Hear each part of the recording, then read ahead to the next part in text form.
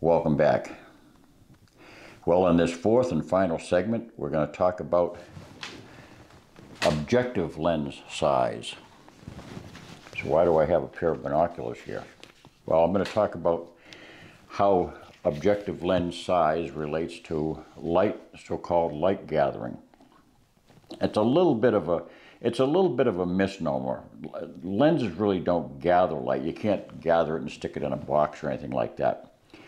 Um, they facilitate the entry of more light because of the size of the objective lens. It's like looking the difference between looking down a, a 22 barrel and looking down a 458 diameter barrel. The more the more open it is, the more light comes in, you know, reflect, reflected within the lenses.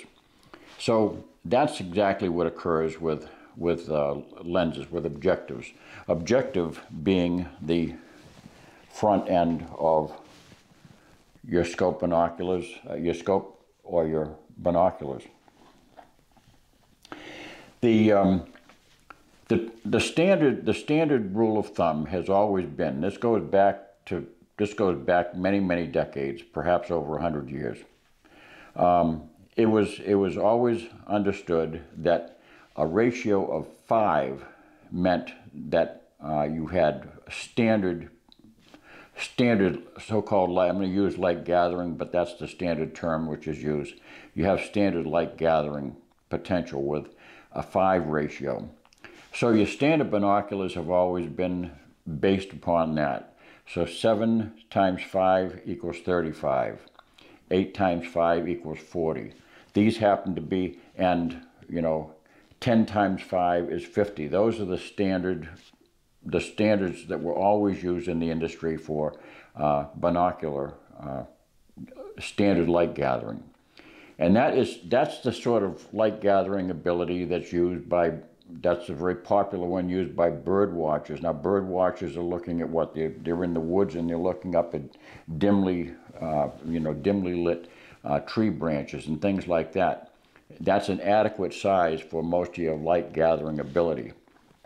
That means that a scope, a rifle scope, which is powered for uh, a 7 power scope, uh, 35, 35 millimeter objective is standard uh, for that particular scope.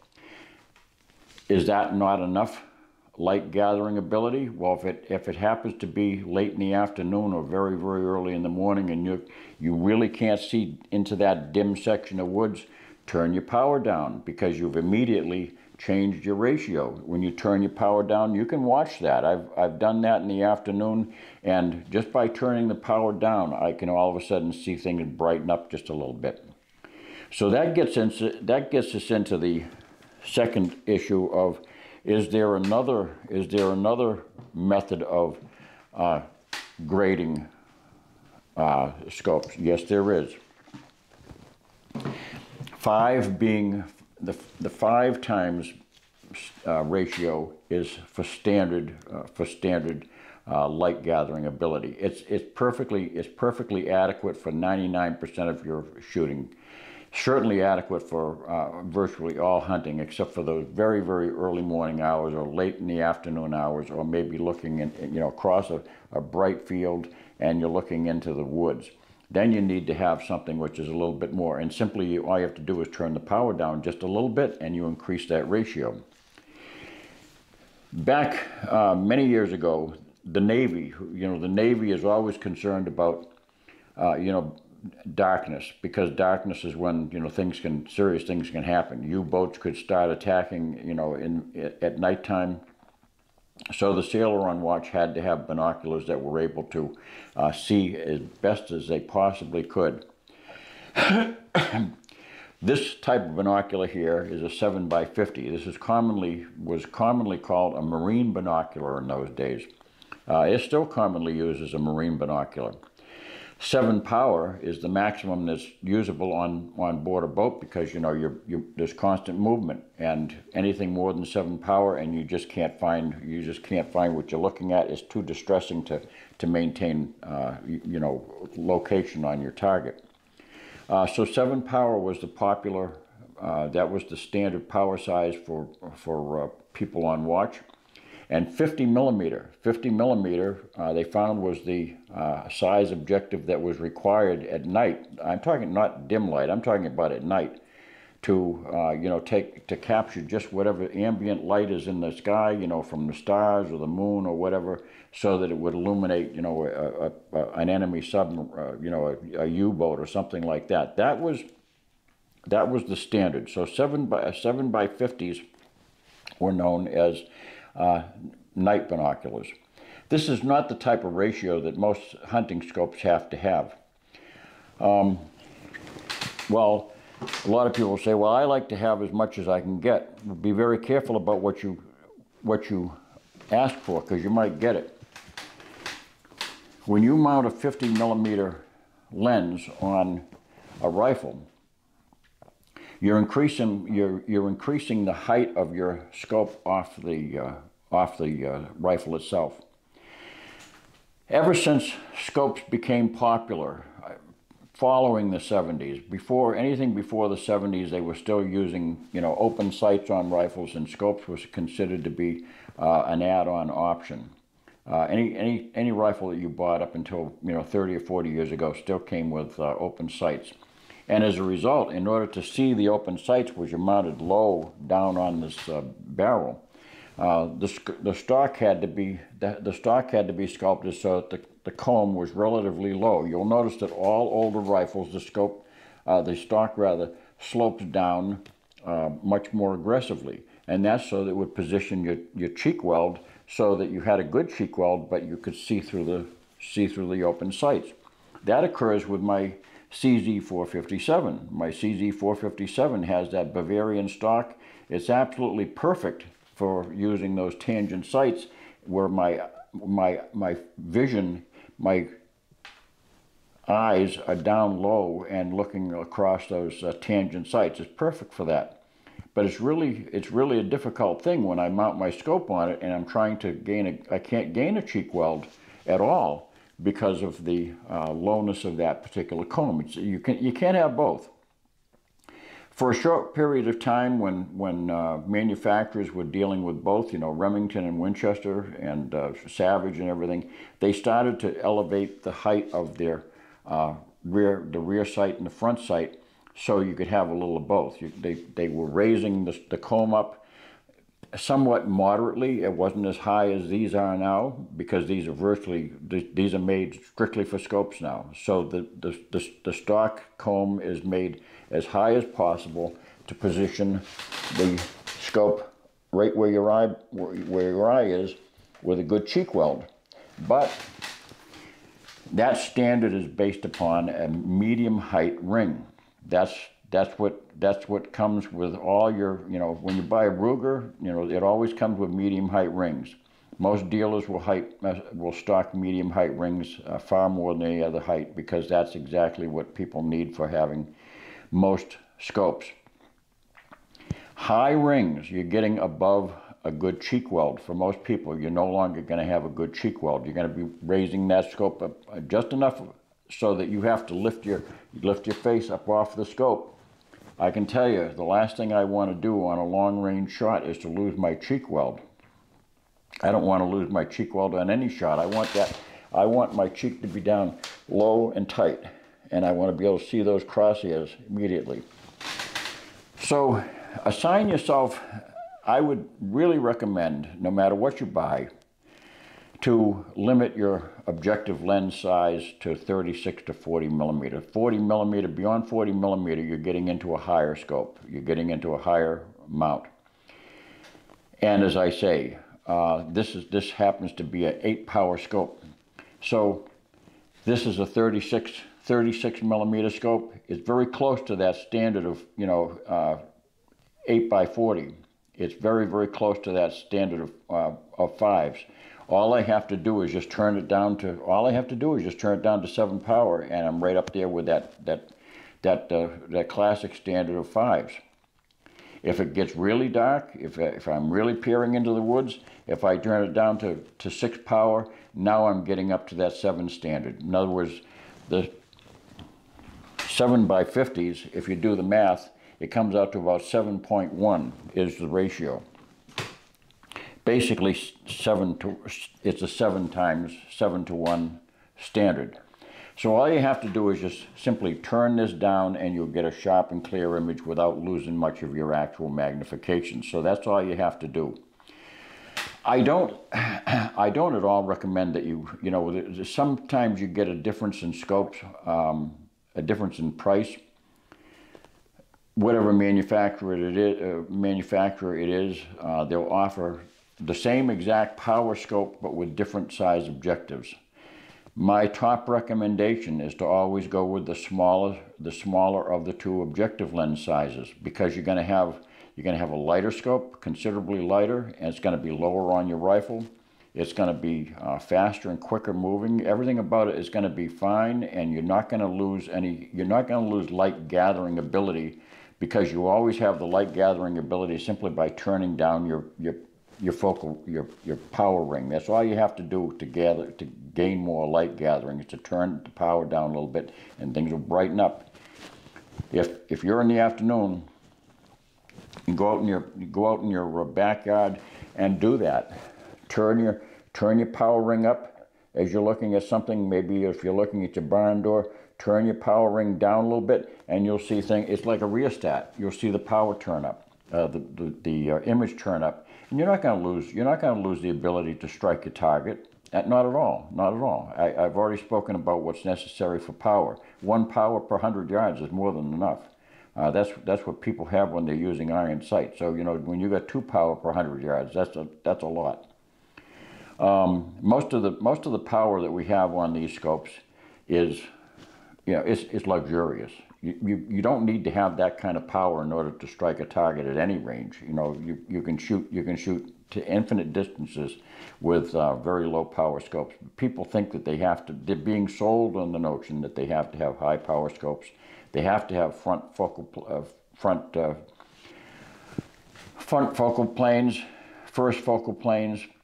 They're convinced they have to have uh, large objective lenses, and they're convinced that they have to have they have to have adjustable objectives.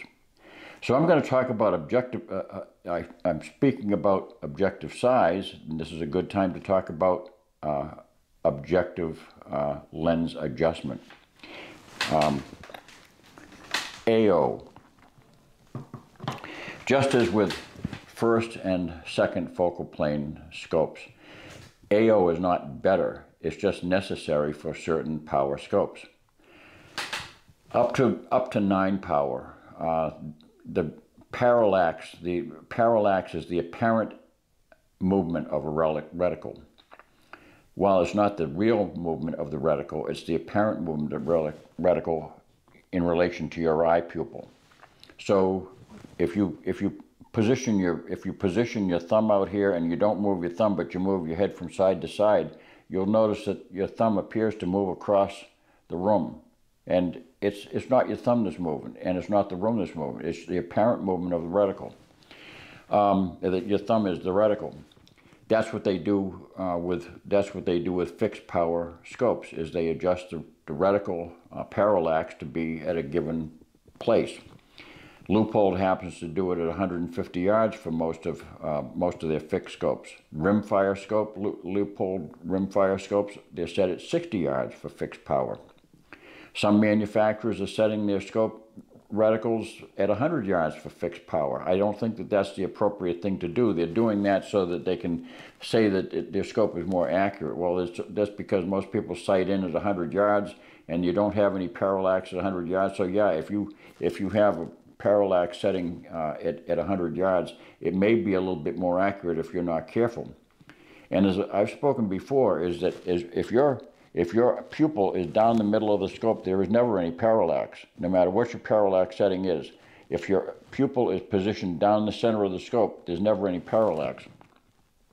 But above 9 power, that's where you need to have AO. So if you happen to have a scope which is, uh, you, you purchase a scope for, for target shooting and, you know, or, or varmint hunting where you need to have a high power scope, adjustable objective is a necessary thing that you have to have in order to correct for parallax at, at various ranges. And what occurs with parallax is also uh, is affecting your, your focal distance. uh, your your actual focus point. So it it ranges it ranges at, uh, at, at extended ranges. Then you adjust your parallax up to adjust to that particular range. So say you're looking at, at 225 yards, you turn your ring up to 225 yards. It's not only adjusting your parallax and correcting for the parallax, the apparent movement of the reticle, but it's also focusing your scope because now what it's really doing is it's adjusting the parallax inside the scope such that the convergence of light images, light rays, fall upon your distant target at the same time that they're falling upon your crosshair. So it's correcting for your, your range, your, your uh, parallax, and it's also focusing in at the same time. So with an adjustable objective scope, when you're focused, when you're focused at 280 yards, with your AO setting, or what, if it's on the, sometimes it's on the side, side mounted, it's the same thing. But if you adjust it for that, for that range, it's also focusing at exactly that same range too. So that's what AO does. I've spoken about what you need for power, so you can you can readily see you're not going to see AO on any of my hunting scopes. It's just not going to happen. Uh, you know, it, it's just it's it's extra weight too. It adds it adds another ounce or so of weight uh, uh on on an AO scope. It's not it's simply not needed. And not only that, but the objective bell by that time has gotten up to 50, usually 50 millimeter, which is way too much uh, for a scope that I want to have on my gun. It's just too much too much height and too much weight. So but that's what AO is. Uh, if you need it for target shooting or for uh, varmint shooting, uh, it's the way to go. If, if you get a if you get a scope which is 10 power or more, you're going to have to have AO in order to uh, correct for the uh, parallax and to uh, focus focus properly at those distances. Um, yes, and you will handicap yourself if you get a if you get a 10 or 12 power scope that doesn't have AO because you can get parallax. But remember what I said.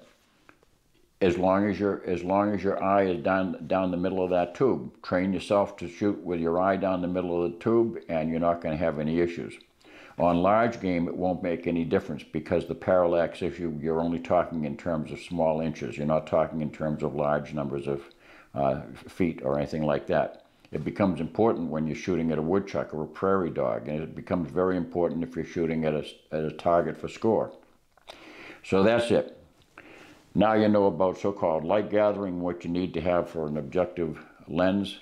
Keep it under 40 millimeter if you want to mount your scope with uh, medium standard ring height. Uh, you know, and, and some people look at it like a one and a, a one and a half to five scope, and it's just got a, a 20 millimeter tube. Well, what's what's the point of that? You wonder, because 20 millimeter isn't going to gather much light. Well, do the math, and you'll see that at five power, uh, five times five is 25. That's a 20 millimeter tube. Uh, one inch is a 20 millimeter tube. So you're you've got more than enough power, and if you uh, more than enough light gathering. If you turn it down to uh, four power or three power your light gathering goes way up. So that's that's the name of that game. I think I've covered. I think I've covered pretty much all of it. Uh, if I can think of anything else, I'll post it pretty soon. And thanks to my Patreon donors for all the assistance that you've given me. Don't forget to hit that thumbs up button and uh, subscribe to me. Tell your friends about us and. Uh, Benny's doing super. He was just down here a minute ago, and he's having a great time. But uh, he's waiting. For, he's waiting for me to go out and have my cigar and uh, enjoy the afternoon with him. So that's what I'm going to do. Thanks for thanks for watching. Don't forget to subscribe. And God bless.